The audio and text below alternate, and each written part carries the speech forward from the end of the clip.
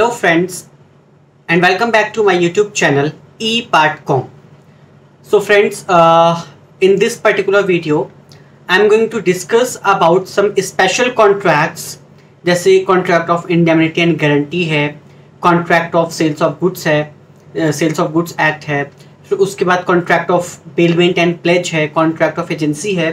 तो there are some special contract which need to be discussed in this particular subject Indian contract act 1872 तो आज हम जो discuss करने वाले हैं, हम इसी को डिस्कस करेंगे contract of indemnity and guarantee तो इस पर्टिकुलर वीडियो में हम क्या क्या टॉपिक्स कवर करने वाले हैं तो सबसे पहले तो हमारा contract of indemnity and guarantee section 124 से सेक्शन 125 जिसमें हम डेफिनेशंस और essentials of contract of indemnity पढ़ेंगे rights of indemnity holder and times of commencement of indemnifier's liability ये तीन चीज़ डिस्कस करेंगे। फिर उसके बाद हम कॉन्ट्रैक्ट ऑफ़ गारंटी पे आएँगे कि कॉन्ट्रैक्ट ऑफ़ गारंटी क्या है rights of surety right of rights of principal debtor duties of principal debtor ये सारी चीज़ें हम डिस्कस करने वाले हैं। तो ये हमारा टेबल ऑफ़ कंटेंट है सेक्शन 126 से लेकर के सेक्शन 147 तक में हम क्या करेंगे? डेफिनेशंस करेंगे distinction between indemnity and guarantee kinds of guarantee ये किंग्स लिखा है, यहाँ पर काइंड्स ऑफ़ गारंटी है। Nature and extent of sureties liability rights of surety discharge of surety फिर उसके बाद जो है बेलमेंट और प्लेज हम बाद में करेंगे। तो आज के इस टॉपिक में हम सिर्फ़ और सिर्फ़ contract of indemnity and guarantee को कवर करने वाले हैं। तो friends contract of indemnity contract of indemnity क्या होता है? तो under section 124 of the Indian contract act it is defined under section 124 of the Indian contract act a contract यहाँ पे हाईलाइटेड है अंडरलाइन है.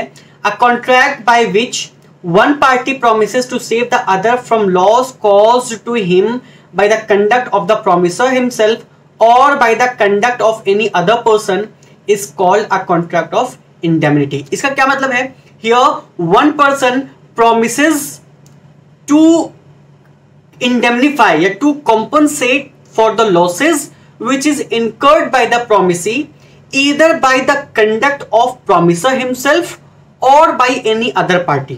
इसका क्या मतलब है? सपोज़ दैट मी मैं हूँ और कोई एक और पर्सन है बी तो मैंने बी के साथ एक प्रॉमिस किया कॉन्ट्रैक्ट ऑफ़ इंडेमिनिटी के तहत एक प्रॉमिस किया कि भाई फ्यूचर में अगर आपको कोई लॉस होगा तो वो लॉस मैं आपका कॉम्पनसेट करूँगा। तो it is a promise it is a contract where the promisor promises to compensate for the losses incurred by the promisee इधर by the conduct of promisor himself चाहे तो प्रोमिसर के कंडक्ट की वजह से वो लॉस हुआ है, और या फिर वो किसी थर्ड पार्टी के कंडक्ट की वजह से हुआ है तो in that particular case that जो लॉस होगा, वो हमारा क्या होगा?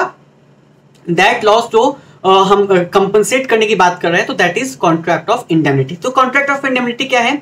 अगर मैं यहाँ पे देखूँ कि डेफिनेशन जो है it is given under section one a contract by which one party promise to save the other from loss cause to him by the conduct of promisor himself चाहे वो प्रोमिसर के अपने कंडक्ट की वजह से loss हुआ है और by the conduct of any other person is called a contract of indemnity एक एग्ज़ाम्पल लेते हैं। जैसे इसमें भी कोटेड है P contracts to indemnify Q against the consequences of any proceedings which are may take against Q in respect of certain sum of money इसका क्या मतलब है? कि पी ने क्यू को बोला कि वो वो सारे लॉसेस को कंपनसेट करेगा जो क्यू इनकर करता है आर को सू करने के लिए। आगे सू मतलब कि क्यू और आर के बीच में कोई केस है तो पी ने बोला कि चलो ठीक है, तुम उसको केस करो। जो भी लॉस होगा वो लॉस कौन बियर करेगा? पी बियर करेगा, मैं बियर करूँगा तो that is called contract of indemnity ठीक है? तो इसमें एक और छोटा सा एग्जांपल लेते हैं। Suppose that a person A enters into a contract B, enters into a contract B, promises कि B को किसी थर्ड पर्सन मतलब किसी थर्ड पर्सन के टूवर्ड्स अगर कोई लॉस हुआ है, ठीक है? तो वो जो लॉस कॉम्पनसेट करने के लिए ए जो कॉन्ट्रैक्ट करेगा that is called contract of indemnity ठीक है? तो यहाँ पे भी वही एग्जांपल मेंशन है कि पी एंड क्यू के बीच में कॉन्ट्रैक्ट ऑफ़ इंडेमिनिटी हुआ है कि क्यू आर को सू करने के लिए जो भी एक्सपेंसेस होंगे लीगल कॉन्सिक्वेंसेस के लिए जो भी हमारे एक्सपेंसेस होंगे, वो एक्सपेंसेस कौन बियर करेगा? पी बियर करेगा। तो that is called the contract of indemnity ठीक है? तो अब देखो objective of contract of indemnity क्या है?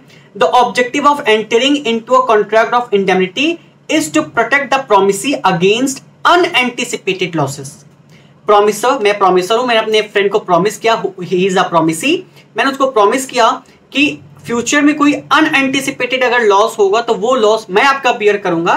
That is called that is the objective of your objective of contract of indemnity तो the objective of entering into a contract of indemnity is to protect the promisee is to protect the promisee against unanticipated losses जो unanticipated losses है, उनके against protection के लिए हमारा क्या है? ये प्रॉमिस है। अच्छा parties to the contract of indemnity there must be at least two parties there must be two parties. A contract of indemnity has two parties. Indemnifier indemnifier and indemnified. Indemnified अब sir ये indemnifier, indemnified कौन है? Indemnifier जो है promiser. Indemnifier is a person who promises to bear the losses. वो person जो loss को bear करने का प्रॉमिस कर रहा है that is called indemnifier indemnified कौन है? The person whose losses are being compensated जिसके लॉस को मैं कंपनसेट करूँ या promisee in this case promisee जो है he is the indemnified person. तो indemnifier is a person who is going to compensate the losses, that is called indemnifier. And indemnified is a person whose losses are being indemnified. जिसके loss को हम indemnify करने की बात कर रहे हैं दैट इज़ कॉल्ड इंडेमनीफाइड तो द प्रोमिसर और और इंडेमनीफायर यहाँ पे भी मेंशन है. He is the person who promise to bear the losses जो प्रॉमिस कर रहा है कि भाई सारे लॉस हम बियर करेंगे तो वो वो कौन है? प्रोमिसर है. और प्रोमिसी और इंडेमनीफाइड कौन है? या इंडेमनिटी होल्डर उसको हम बोलते हैं he is the person whose loss is covered और who are being compensated that is called indemnified या indemnity holder now essentials of contract of indemnity जब भी हम कोई कॉन्ट्रैक्ट करते हैं तो उसमें एसेंशियल्स हम ज़रूर पढ़ते हैं। हर कॉन्ट्रैक्ट का एक एसेंशियल होता है कि what are the requisites what are the conditions what are the essential elements of those contracts तो इसी तरह से एसेंशियल एलिमेंट्स जो है कॉन्ट्रैक्ट ऑफ़ इंडेमिनिटी के भी हैं। पहला है parties to a contract parties to a contract में क्या है? There must be at least two parties there must be two parties not at least there must be two parties one is indemnifier and another is indemnified एक promisor होगा और दूसरा कौन होगा? Promisee होगा। तो प्रोमिसर कौन है? इंडेमनीफायर और प्रोमिसी कौन है? इंडेमनीफाई तो पहला क्या है? Two party should be there protection of losses का मतलब क्या है? Contract of indemnity is entered into for the purpose of protecting the promisee from the loss the loss may be caused due to the conduct of the promisor और any other person इसका क्या मतलब है? कि ये जो contract होना चाहिए that contract should be for the protection of loss nothing else should be there. It should be only for the protection of losses, which is incurred by the promisee or indemnified person. तो जो contract of indemnity है, इसमें क्या है? The contract should be for the protection of loss only there is nothing to do with another purpose. The only purpose, the sole purpose is to protect the loss या cover the loss of of whom of that indemnified person. Promisee. Promisee का जो भी loss है, उसे हमें क्या करना है? प्रोटेक्ट करना है या कवर करना है? दूसरा है एक्सप्रेस और इंप्लाइड कॉन्ट्रैक्ट ऑफ़ इंडेमिनिटी इधर कैन बी एक्सप्रेस और एक्सप्रेस इधर in by words of mouth और बाय रिटेन वर्ड्स और इंप्लाइड मतलब by conduct of the parties it can be entered into इधर बाय एक्सप्रेस कॉन्ट्रैक्ट और by implied contract ठीक है? नेक्स्ट है essential of valid contract since it is a contract तो there should be all essential elements of valid contract should be here, which are given under section 10 section 10 में हमने जो essential elements of valid contract पढ़े थे, वो सारे essential elements का क्या होने चाहिए? इस कॉन्ट्रैक्ट में भी प्रेजेंट होने चाहिए। जैसे कैपेसिटी टू पार्टीज़ है कंसिडरेशन uh, है ये सारी चीज़ें क्या हैं? That should that all should be present here ठीक है?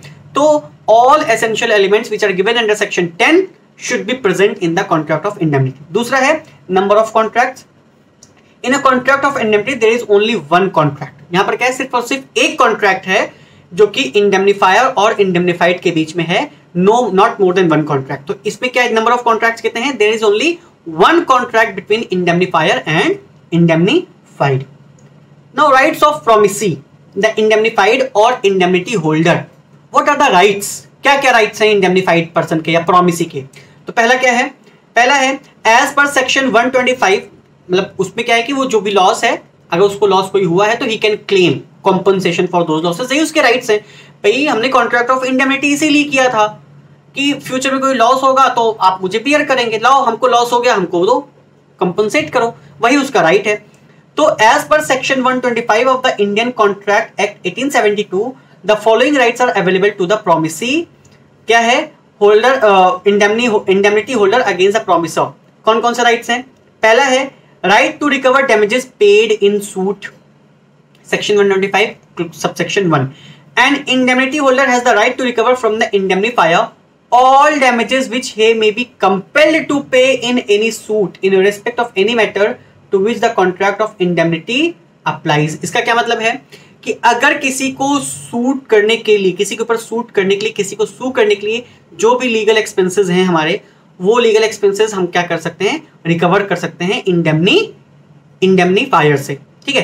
तो an indemnified has a right to claim all those expenses which are incurred in order to which are incurred in order to bring any suit in respect of any matter to which a contract of indemnity applies तो उसको suit करने के लिए जो contract of indemnity जिस particular purpose के लिए अपने कॉन्ट्रैक्ट ऑफ़ इंडेमिनिटी किया है तो उस कॉन्ट्रैक्ट को अगर हम आ, क्या कहते हैं कि सूट करने के लिए कोई भी एक्सपेंसेस अगर हम बियर कर रहे हैं तो उसके जो इंडेमनीफाइड इंडेमनीफाइड पर्सन है जो प्रोमिसी है उसके पास ये राइट है कि वो सारे डैमेजेस क्लेम कर सकता है इंडेमनीफायर से। दूसरा है right to recover cost incurred in defending a suit अगर सूट को डिफेंड करने में ए, कोई हमारे एक्सपेंसेस बियर हमने किए हैं तो वो सारे हमारे क्या हैं हम उसको जो भी एक्सपेंसेस हैं हम उसको रिकवर कर सकते हैं ठीक है? तो an indemnity holder has the right to recover from the indemnifier all cost which he may be compelled to pay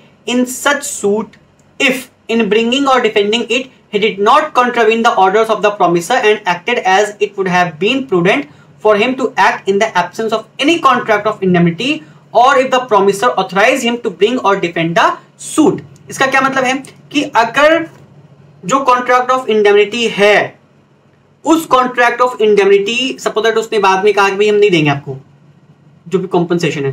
तो मैंने उसको क्या किया? कोर्ट में वो सू कर दिया। तो उस लीगल कॉन्सिक्वेंसेस के लिए हमने जो भी कॉस्ट इनकर किया होगा, जो भी हमने एक्सपेंसेस बियर किए होंगे those expenses should also be recovered by the indemnified person from the indemnifier next है right to recover sum paid under compromise अगर कॉम्प्रोमाइज में कोई एक्सपेंसेस हमने पे किए हैं कॉम्प्रोमाइज अगर भी आपस में कोई कॉम्प्रोमाइज हो रहा है तो उसमें भी हम, अगर कोई कॉस्ट हमने बियर किया है तो वो कॉस्ट भी हम क्या कर सकते हैं? रिकवर कर सकते हैं। तो an indemnity holder also has the right to recover from the indemnifier all sums which he may have paid under all the terms of any compromise of any such suit. Such suit मतलब जो suit किया था, हमने उसको sue किया था court of law में, फिर वहाँ पे हमने कॉम्प्रोमाइज कर लिया आपस में।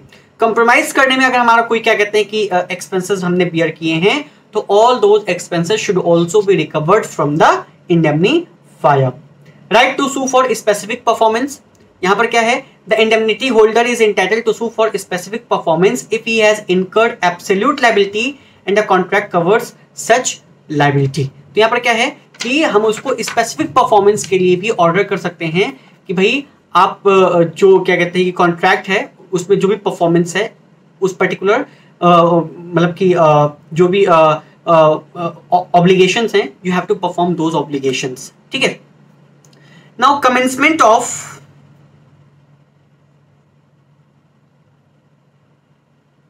अच्छा स्पेसिफिक परफॉर्मेंस वो तभी कर सकता है जब वो चीज़ मेंशन होगा कॉन्ट्रैक्ट ऑफ़ इंडेमिनिटी में अगर वो चीज़ मेंशन नहीं है then there is no right to sue अगर उसमें मेंशन है तो हम स्पेसिफिक परफॉर्मेंस के लिए उसको सू कर सकते हैं। ठीक है? अच्छा commencement of liability of promisor indemnifier liability कब कमेंस होगी? जब उसको कोई लॉस होगा। In the absence of any loss there will be no any liability भाई लॉस होगा देन ओनली लाइबिलिटी जो जो है इंडेमनीफायर की वो अराइज होगी।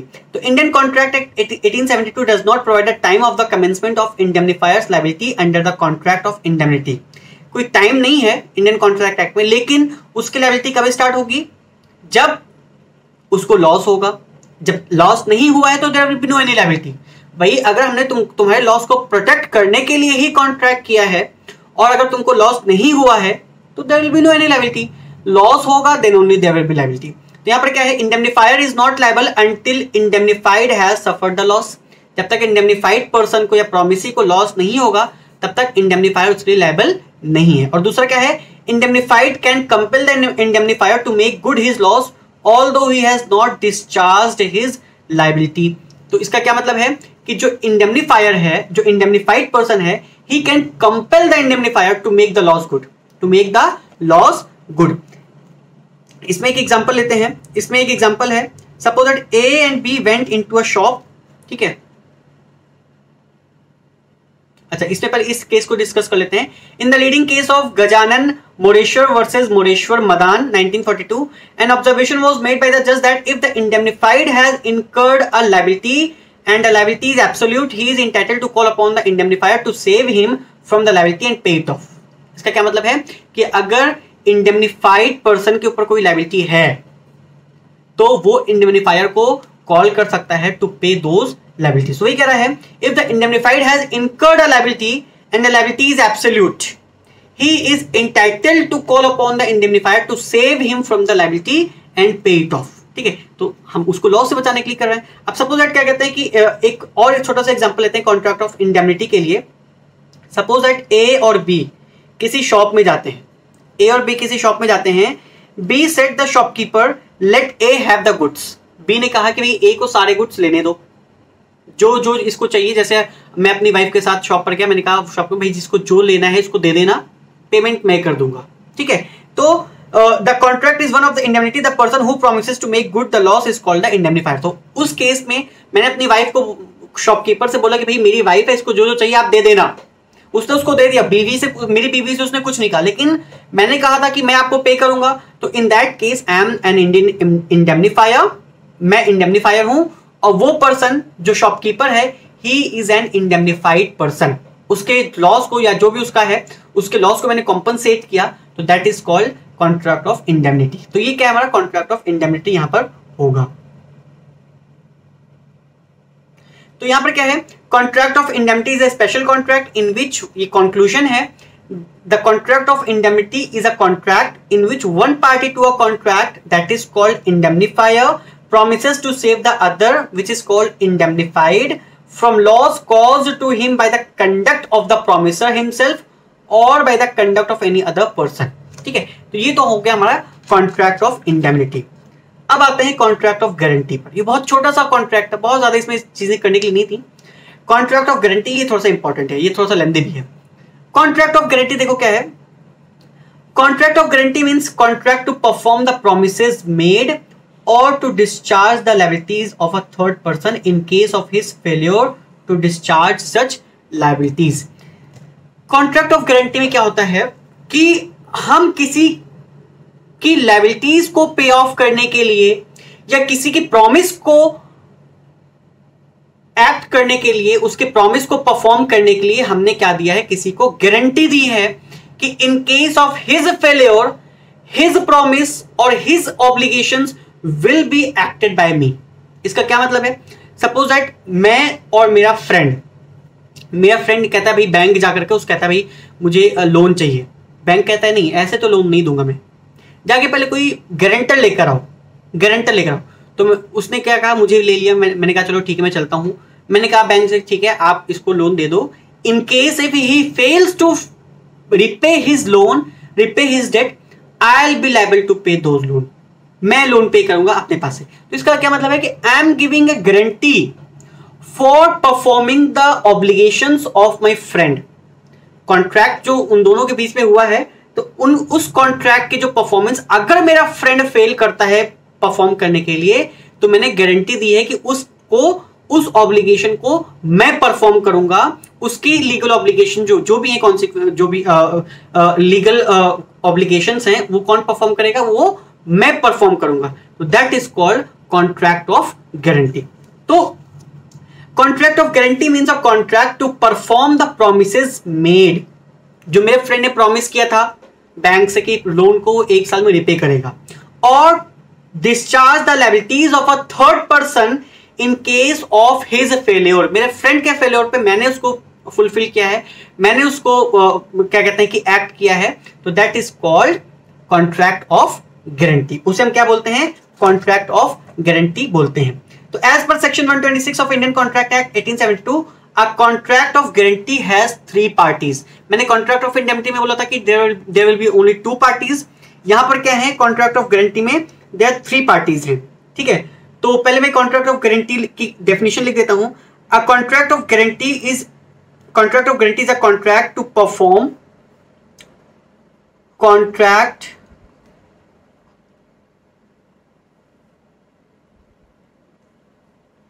of guarantee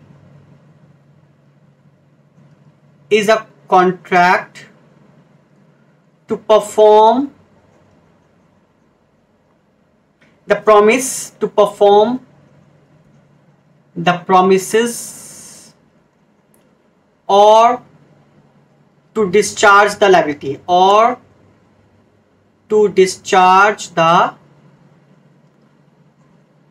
liability of the third person in case of his failure ठीक है? तो ये तो होगी बेसिक मतलब उसकी definition which is given under the law now under section 126 of Indian contract act 1872 contract of guarantee has three parties कौन कौन सी थ्री पार्टीज़ हैं? पहला तो है surety principal debtor and creditor surety कौन है? Surety is a person who is giving the guarantee जैसे मैंने बैंक्स मेरा फ्रेंड और मैं, ये तीन पार्टीज़ हैं। A person who is giving the guarantee मैं गारंटी दे रहा हूँ अपने फ्रेंड की कि भाई मैं पे करूँगा in case of his failure तो आई एम अ श्योरिटी मैं क्या हूँ? मैं श्योरिटी हूँ। प्रिंसिपल डेटर कौन है? My friend who is acquiring the loan and creditor कौन है? बैंक हु आर या bank who is giving the loan तो surety a surety is a person giving a guarantee in a contract of guarantee a person who takes responsibility to pay a sum of money perform any duty for another person in case that person fails to perform such work. तो he is called surety. Principal debtor कौन होगा? Principal debtor कौन है? अब principal debtor is a person for whom the guarantee is given मैंने अपने friend के against guarantee दी है। मैं अपने फ्रेंड के बिहाफ पे गारंटी दी है। तो मेरा फ्रेंड जो होगा he will be a principal debtor creditor कौन होगा? The person to whom the guarantee is given जिस पर्सन को मैं गारंटी दे, जिस पर्सन की गारंटी दे रहा हूँ, वो प्रिंसिपल डेटर है। और जिस पर्सन को गारंटी दे रहा हूँ, की और को, जिस पर्सन की गारंटी दे रहा हूँ he is a principal debtor और जिस पर्सन को गारंटी दे रहा हूँ ही इज़ अ क्रेडिटर अब एग्जांपल में देखो क्या है mister X advances a loan of rupees twenty to mister Y and mister Z promise that in case of Mr. Y fails to repay the loan, then he will repay the same.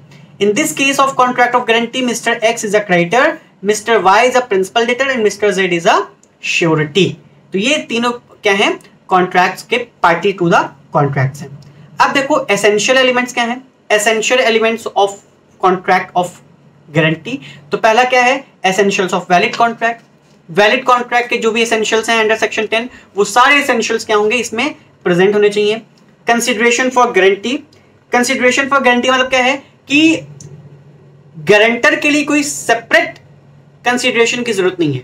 There is no requirement of separate consideration for surety surety के लिए कोई अलग से consideration की ज़रूरत नहीं। Suppose that मैंने banks को रिक्वेस्ट किया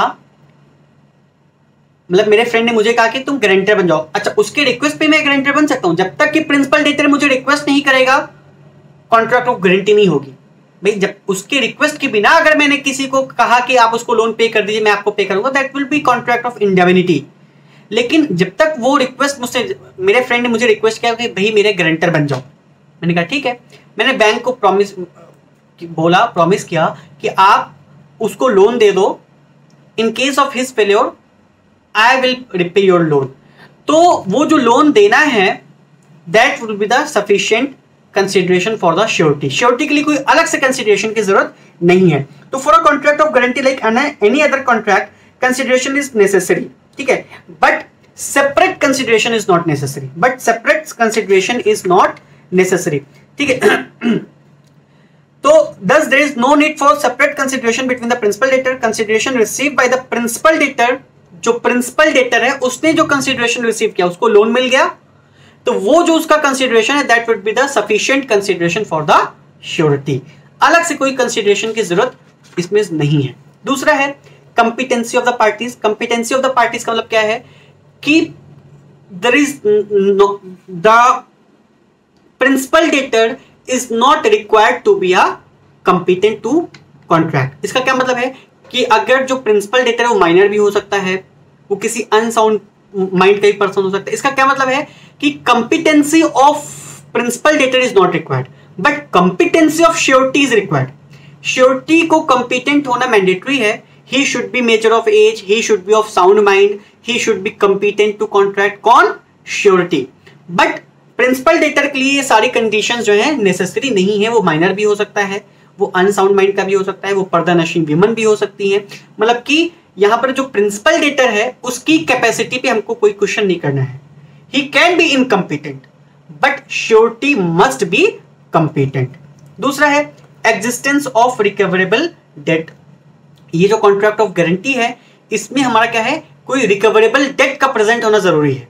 मतलब कि यहाँ पर जो हम बात कर रहे हैं, किसी लोन की या डेट की बात कर रहे हैं in the absence of any loan और in the absence of any debt recoverable debt there is no any contract of guarantee जब तक कि वहाँ पर हमारा कोई डेट या कोई लोन प्रेजेंट नहीं है एग्जिस्ट नहीं करता है there will no any contract of guarantee no misrepresentation और concealment of fact strictly speaking contract of guarantee is not a contract it is a contract of good faith it is a contract of it is a contract of good faith good faith तो यहाँ पर क्या है? कि यहाँ पर जो creditor है he should disclose all the fact related to the contract to the surety which will affect the which might affect the willingness of the surety मतलब कि वो सारे फैक्ट्स जिसकी वजह से श्योरिटी की विलिंगनेस इफ़ेक्ट हो सकती है to act as a surety वो सारे फैक्ट्स हमको क्या करने हैं? डिस्क्लोज करने हैं। किसको करने हैं? क्रेडिटर को डिस्क्लोज करने के। भाई, देखिए, अगर आप श्योरिटी बन रहे हैं तो ये ये चीज़ें आपके पास हैं।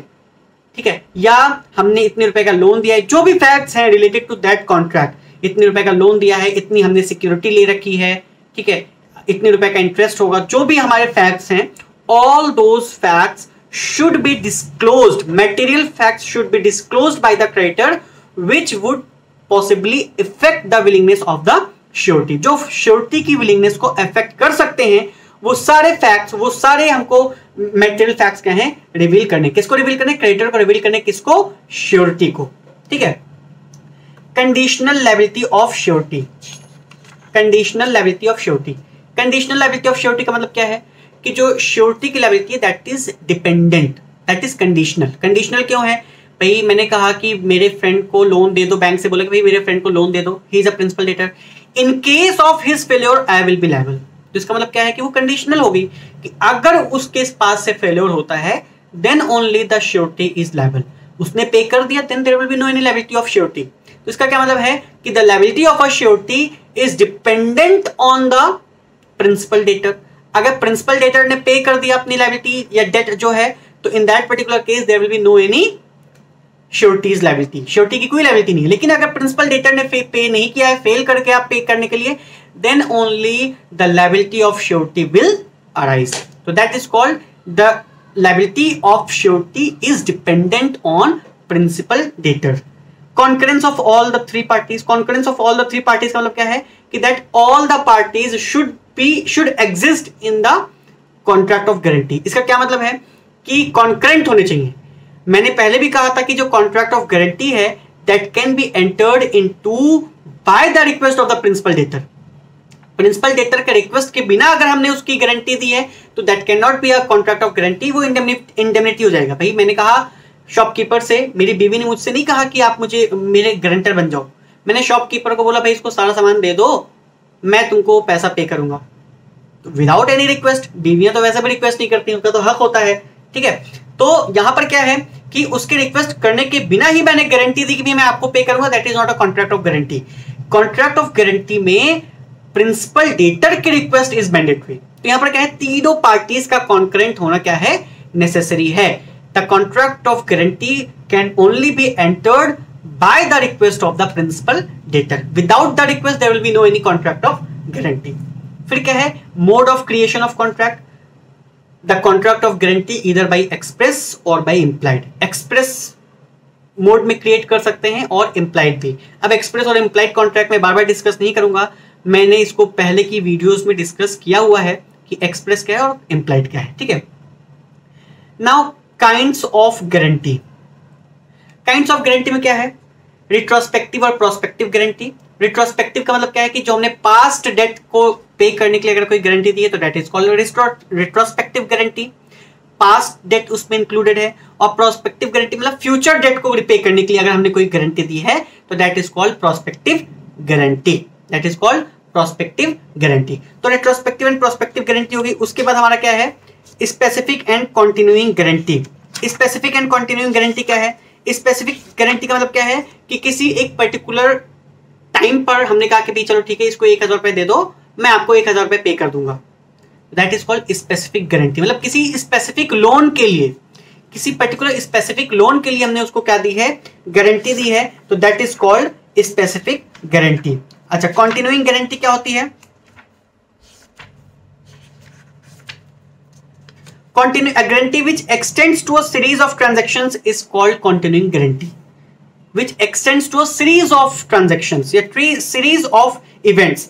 ठीक है तो उसको हम क्या बोलते हैं? कॉन्टिन्यूइंग गारंटी बोलते हैं। जैसे मैंने कह दिया कि भाई क्या क्या कहते हैं कि आप एक काम करो क्या कहते हैं कि आ, आ, आप इसको जो है five thousand rupees per month दे दिया करना।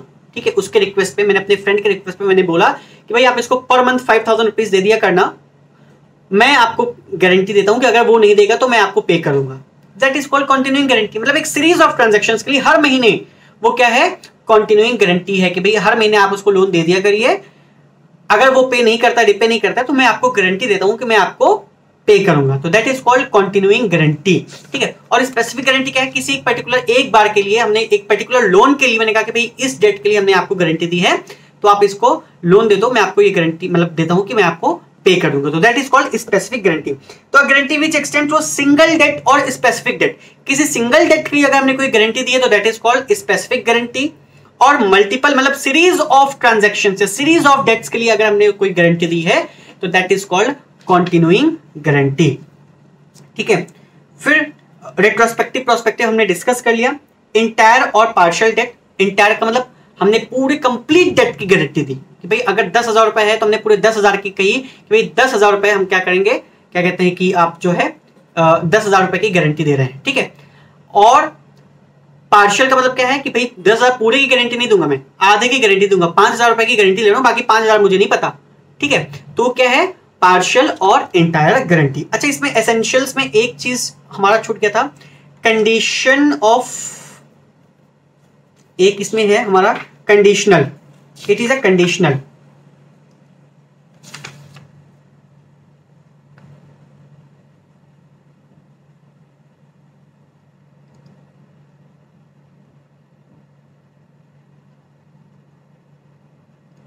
surety's liability is secondary in nature is secondary in nature ठीक है? तो यहाँ पर कंडीशनल लाइबिलिटी ऑफ़ सिक्योरिटी का मतलब क्या है? कि surety can put any conditions in the contract of guarantee मतलब जो श्योरिटी है, वो कोई कंडीशन पुट कर सकता है भाई कि ये कंडीशन फुलफिल होगी then only I can be act as a guarantor surety ठीक है? तो वहाँ पर कॉन्ट्रैक्ट ऑफ़ गारंटी में श्योरिटी जो है, वो कोई कंडीशन पुट कर सकता है कि ही विल रिपे या he will promise to pay the loan और debt after the fulfilment of this particular condition ठीक है? अगर ये पर्टिकुलर कंडीशन फुलफिल होगी then only he will act as a surety otherwise he will not act as a surety तो वहाँ पर क्या है कि श्योरिटी की जो है कंडीशनल लेबिलिटी हो सकती है, ठीक है? और दूसरी क्या है सेकेंडरी लेबिलिटी मतलब क्या है कि it is dependent on the principal debtor कि अगर प्रिंसिपल डेटर जो है वो पे नहीं करेगा then only it will be paid by the it will be paid by the surety ठीक है? तो यहाँ पे हमने काइंड्स ऑफ़ गारंटी कर ली, ठीक है? अच्छा यहाँ पर क्या है? हमने रिट्रोस्पेक्टिव प्रोस्पेक्टिव कर लिया स्पेसिफिक एंड कंटिन्यूइंग कर लिया इंटर एंड पार्शल कर लिया। कंटिन्यूइंग गारंटी के केस में हमने कहा कि भाई, ठीक है आप हम इसको कंटिन्यूइंग गारंटी दे रहे हैं कि आप इसको पाँच हज़ार पर मतलब एक सीरीज़ ऑफ़ डेट्स के लिए हम कह रहे हैं। लेकिन ऐसा नहीं कि अगर हमने उसको कंटिन्यूइंग गारंटी दे दी तो हम उसको रिवोक नहीं कर सकते हैं। बिल्कुल किया जा सकता है। उसका रिवोकेशन पॉसिबल है। कैसे रिवोक कर सकते हैं? By notice by death of surety ठीक है? तो रिवोकेशन कैसे कर सकते हैं? रिवोकेशन क्या है? बाय नोटिस और बाय डेथ ऑफ़ श्योरिटी कि अगर हमने सपोज़ तीन चार महीने के बाद हम थक गए, हमने कहा, भाई, अब गारंटी नहीं ले सकता मैं। तो मैंने एक नोटिस सर्व कर दिया किसको? प्रिंसिपल डेटर को भी और क्रेडिटर को भी। दोनों को हमने एक नोटिस सर्व कर दिया, भाई, कि अब मैं इस पर्टिकुलर कॉन्ट्रैक्ट में गारंटर या श्योरिटी एक्ट नहीं कर सकता हूँ। I am revoking myself as a surety तो वहाँ पर क्या है? नोटिस के थ्रू हम क्या कर सकते हैं? कंटिन्यूइंग गारंटी को रिवोक कर सकते हैं एंड कर सकते हैं, ठीक है? और by death of the surety ज़ाहिर सी बात है, अगर श्योरिटी डेथ कर गया तो वहाँ पर तो अपने आप वो क्या है? रिवोक हो जाएगा, ठीक है? तो ये क्या था? रिवोकेशन ऑफ़ कंटिन्यूइंग गारंटी किस किस वे में, किस किस मोड में हम कंटिन्यूइंग गारंटी को रिवोक कर सकते हैं? तो फ्रेंड्स आज की वीडियो में इतना ही रखते हैं। नेक्स्ट वीडियो में हम इसी पर्टिकुलर टॉपिक को कॉन्ट्रैक्ट ऑफ़ गारंटी को ही कंटिन्यू करेंगे, जिसमें राइट्स एंड ड्यूटीज़ जो होंगी वो हम डिस्कस करेंगे। तो आज की वीडियो में फ्रेंड्स इतना ही रखते हैं। अगर आपको मेरी वीडियो पसंद आई हो तो please like share and subscribe my channel and don't forget to press the bell icon for future notification thank you and have a